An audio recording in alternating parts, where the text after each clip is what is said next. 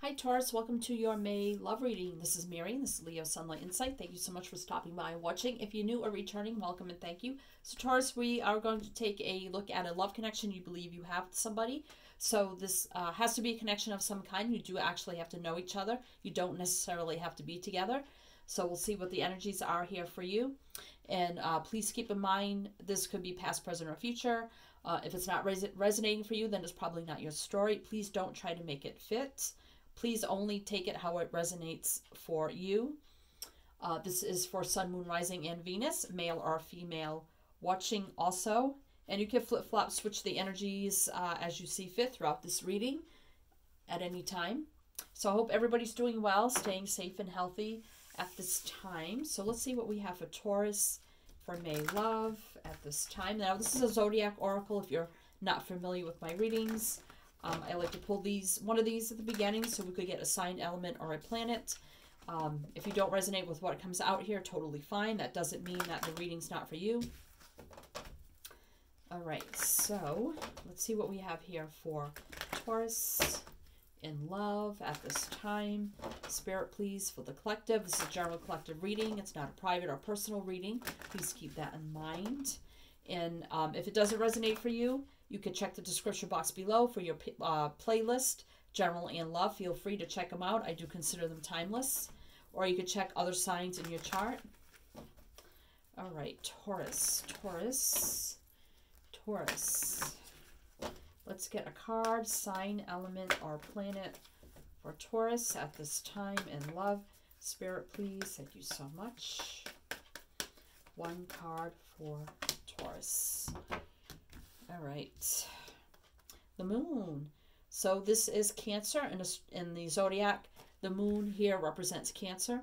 So you could be dealing with the uh, Cancer, Sun, Moon, Rising, or Venus. Um, if not, totally fine. But the can uh, the moon does represent uh, cycles. So something maybe uh, maybe a cycle in your relationship happening. Um, it could talk about deep feelings and emotions. It can also, it's the feminine energy also. You don't necessarily have to be female to have feminine energy. Um, about intuition, higher knowing kind of energy also. So, we'll see how that plays into your reading.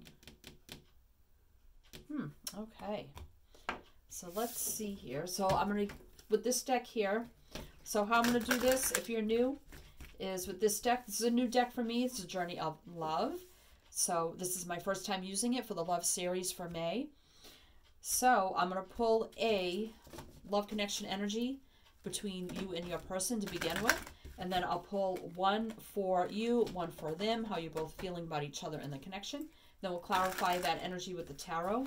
And then we'll look at the actual situation between the two of you, advice, possible outcome, and then we'll get more messages at the end here with this oracle. And then I always go over the bottom of the decks also. So let's see. Let's get an opening energy between Taurus and whoever they're thinking of at this time for this reading. I just want one for Taurus and whoever they are thinking about at this time for this reading. Wow. this deck is still, like I said, new, so it's sticky and a little bit on the stiff side, so bear with me here. Right, that one. So we have the choice, and we have 62 here, which is 8, which is travel, action, communication. So there's a choice to be made here, and I'm getting like, almost looks like the moon here also with this, you know, uh, cycle energy. Somebody may be taking action here, and they've made a choice. All right. Somebody's made a choice and maybe taking, uh, maybe just communicating. Is we're all, all pretty much on lockdown, so I don't know if there'll be any traveling or, or uh, meeting face to face, but at least communication of some kind. All right, so for you here, Taurus, we have a cosmic butterfly, which is 36, which is 9. And 9 is also coming to a completion. Something coming to a completion or a cycle or something like that. So let's see. Let's get one for your person. Okay, that one. All right. Dream a little. Wow, I just got this for Cancer. Wow, and that's funny. I just got this for Cancer's opening message, and now I pulled Cancer for you. So they may be dreaming of you here. Six is about healing and balance. 51 6. So they could be dreaming of you, dreaming of what would like to be with you, dreaming what it would be like to make the choice to be with you. You have Cosmic Butterfly. Now, this is about um, like growth and expansion and transformation and like the spiritual energy. And that moon energy is about, you know, spirituality. It's about um, intuition, higher knowing kind of energy also. Cycles. So I definitely feel like here you have like that higher intuition. Maybe it's uh, something that you've just tapped into that's just transformed for you about this connection. But they're actually dreaming of you, and I think they may be making a choice here. So let's see what's on the bottom of the deck. So we have Heaven, 70, which is 7, which is a divinely guided spiritual number. So I think here, this is like heaven on earth. And it's like the heavens, the universe here, trying to align this. Because the seven there is definitely spiritual, divinely guided energy. I'm just looking at the numbers here. We have the moon is five, six, seven, eight, nine. Five, six, seven, eight, nine. Wow. Five starts uh, starts with change, and the moon is 14, 5, which is change. So something's changing to bring something to full circle, I think. Wow. All right. And I'm getting like that spiritual energy here also. Wow. So let's see what's going on for you, Taurus. And Taurus, especially if you're new, um, you can check out my channel, like what you see. Feel free to like, share, subscribe, all that great stuff. Um, hit the bell, you won't miss out. You get about five readings a month. And if you do, thank you. So let's clarify this energy for you, Taurus. Let's clarify this energy for Taurus. What is this cosmic butterfly? The Nine of Wands. So that's uh, strength. So it's either endurance, confidence, standing up and fighting. Strength, that is the inner battle from within. Um, you've been through a ringer, a battle, a struggle, a fight, and just in life or with this connection. Uh, maybe, you know, fighting and fighting for it, or being strong enough to continue fighting for it. Because we do have the Princess of Wands here, which is the Page of Wands. So you're waiting for good news here from them or passionate communication. a lot of fire and passion here. So you, you could be in the energy here of still wanting to fight for this. You've had transformation of like higher energy. And you're either wanting to send out communication or you're waiting for good news or passionate communication from them with that uh, Page of Wands energy. So let's see, let's just dream a little, let's dream a little about, again, uh, you can flip-flop these energies anywhere you see fit. If it's not your story, don't leave me negative comments. I will delete them. All right, so what is this dream a little about for your person? All right, I wanted two and I got two. So we have the Wheel of Fortune and the King of Swords. Wow. So, yeah, I feel like here the Wheel of Fortune is fate, destiny. We got Sagittarius and Gemini energy here. So I feel like they know this is fate, destined, you know, divine timing, things meant to be, things going in the right direction. Somebody wanting to rush in here with truth, clarity, um, speaking their mind, open, honest, truthful communication, standing up, not backing down, cutting away energy is no longer serving. Again, with the communication with the birds coming in. So someone has been dreaming, dreaming of what it would be like to be in this connection, dreaming of you. Now, consciously making a choice here and knowing this is something divine, divine that was divinely guided, orchestrated, especially with heaven here. And I felt that. Like the universal energies aligning this with the Wheel of Fortune. And now, and also the King, Queen, Ace of Swords also reminds me of that divine energy. So this is like the divine clarity intervention coming in here. So it could also be that they've been enlightened too to this energy. Now wanting to shed truth, clarity, open, honest, truthful communication. They've been enlightened.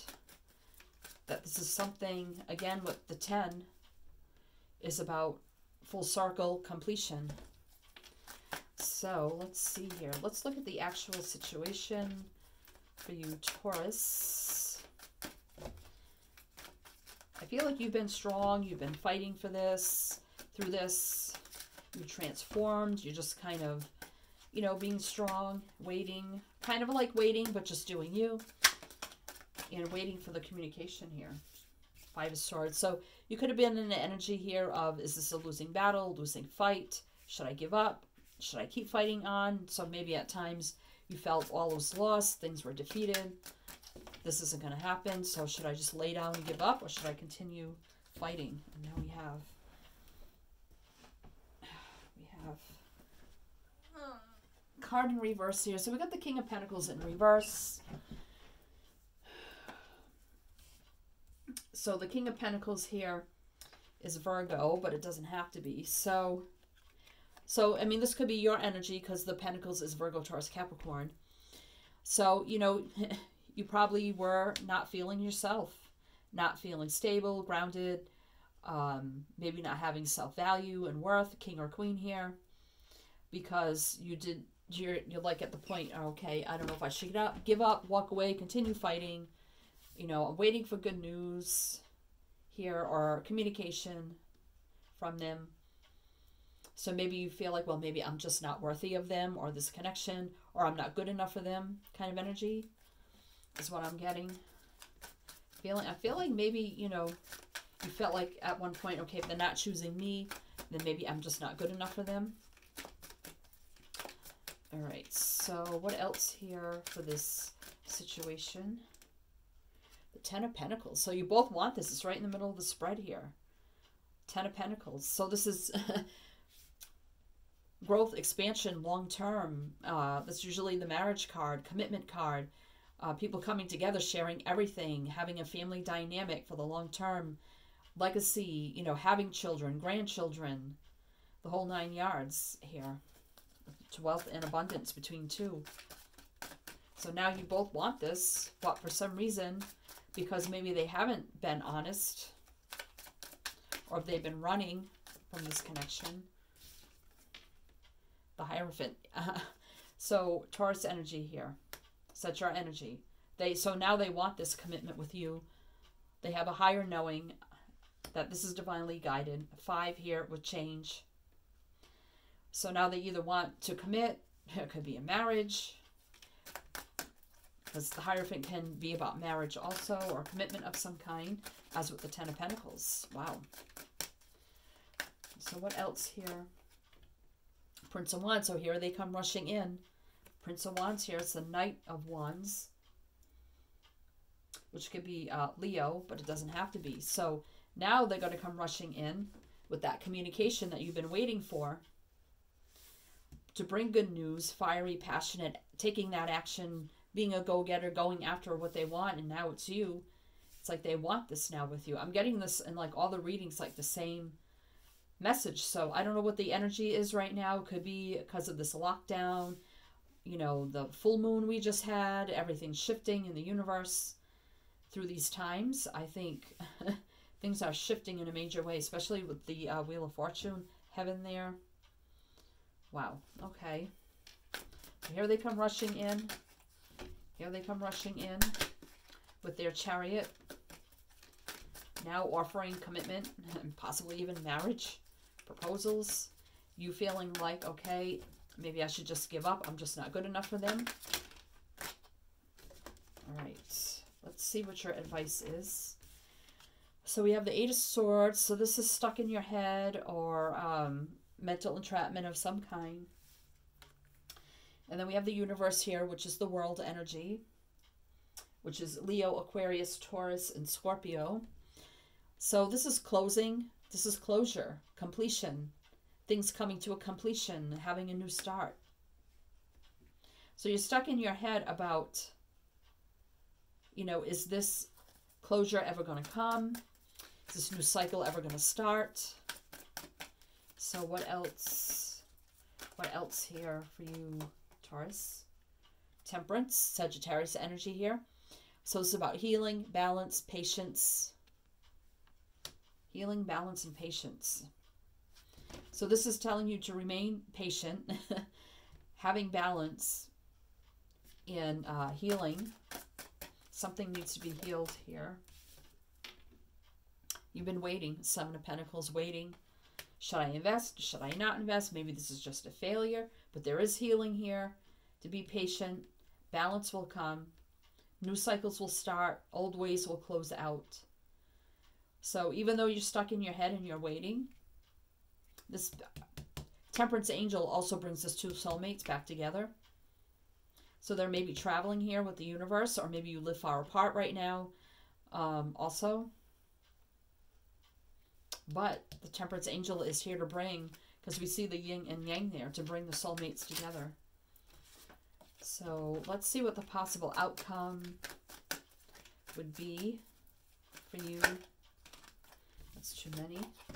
Taurus, what is the possible outcome? The Empress. This is divine feminine energy. So this is the birth of something new. This is growth, abundance, um, stability, love, emotions, feelings, um, passion. It's everything. The Empress. Structure and values. Knowing your value and your worth that, yes, you are worthy of this Nine of Cups, happiness and joy, and wish fulfillment. Happiness, joy, wish fulfillment, knowing your value and your worth. Nine, nines do represent a solo energy, and we only see one person here in this card, but let's see one more. The Emperor. Wow, we have the masculine here. We have the ultimate soulmate energy here going after their wish fulfillment and their happiness and their joy. They're coming to be your emperor to let you know that yes, you were my empress or however that is for you. That if you did not feel worthy of this, that you indeed are, and uh, they will be telling you that. Because we have the emperor and the empress here coming together for their wish fulfillment, happiness, and joy. Wow, and this is Aries. And the empress here can be uh, Libra, and Taurus. So, so let's see what's on the bottom of the deck. Judgment. Again, this judgment angel brings the soulmates together. It's about resurrection, forgiveness, um, making a final judgment call and decision here. Reuniting soulmates coming back together here. Death, rebirth. So ending things that were no longer working so there can be a rebirth here. Healing, transformation. Here comes that fiery, passionate communication again with the Eight of Wands. So we have Capricorn and Scorpio here. Eight of Wands, fiery, passionate, action, travel, communication. Three Pentacles, let's work on it. Let's work together on this. Slow, steady, stable wins the race. Let's work out of this devil energy, Capricorn energy, into the Ten of Cups, total happiness, joy, fulfillment in every single way. Coming full circle again with the Ten. Again, Princess of Cups, Page of Cups coming in with something stable, long-term, sincere, to bring justice into the situation, healing, balance, truth, clarity. So that's what I feel with that. And we have Libra energy here with justice. That's the page, Ten of Cups. So I feel like here, again, overcoming the devil energy to have total happiness and joy together, working on it, starting with uh, fast communication, probably, you know, over the internet, texting or something like that. Can we end old ways and have a rebirth between us, healing, transformation, and bringing the soulmates back together again is with the temperance angel and making that judgment call, making the choice, judgment. Someone's made a choice here. Someone's made a choice for you, Taurus. All right, so. All right, let's get some bonus messages for you. Taurus, I think this is a big year of soulmate twin flames that are meant to be together coming together because every reading so far is basically having the same message. So, wow. Okay, so things coming full circle. All right, Taurus. Let's get some extra messages for you here, Taurus. Well, We got two flying on the floor. We got three. We have let go. This is the Ace of Swords energy to me. We have 18, which is nine. Again, things starting to come full circle. So I think you need to let go of that fear, self doubt that you're not worthy, or whatever that energy is, because the Ace of Swords is here for that divine clarity, um, truth, victorious new beginning seeing things in a new way, a new light, a new color. Here, 44, stability, foundation, structure, value. Seeing things in color, not black and white, black and white, in a new way.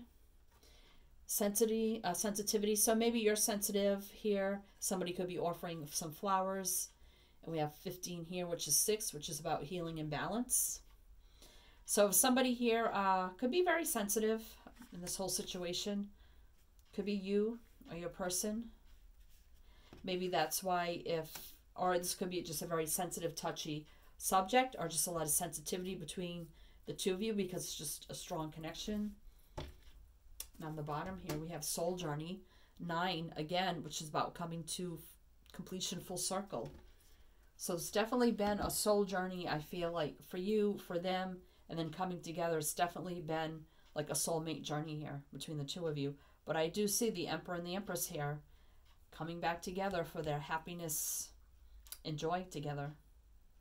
Wow, Taurus. Okay, Taurus, best of luck to you, sending you many light, love, and blessings. And as I always say with my channel, is to always, always shine your light.